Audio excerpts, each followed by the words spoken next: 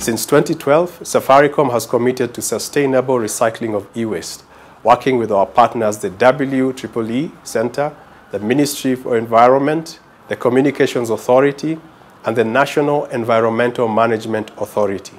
Since the inception of the program, we have been able to collect over 1,200 tons of e-waste to date.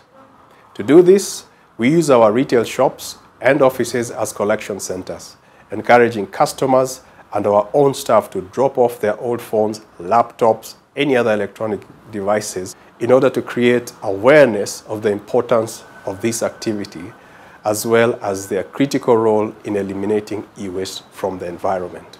Other partners include the Eldoret Polytechnic Multimedia University, Ol Pejeta Conservancy, and Machakos University, who are actively raising awareness and acting as collection centers in their respective locations.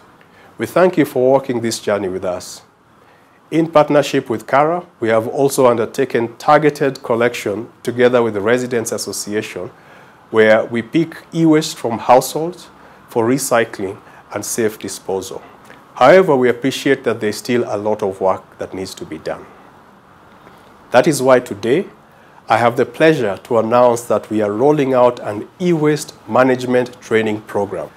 This, we believe, will go a long way in formalizing the informal e-waste sector and helping us achieve shared value. Through this training program, we will work with informal waste pickers to raise their awareness on e-waste management, improve their compliance to basic environment, and health and safety standards. We will partner with the regulators to support the licensing of participants in the program. Moreover, we intend to have this conversation at a national level as members of the National Steering Committee, tasked with advising the government and other stakeholders on matters e-waste in Kenya.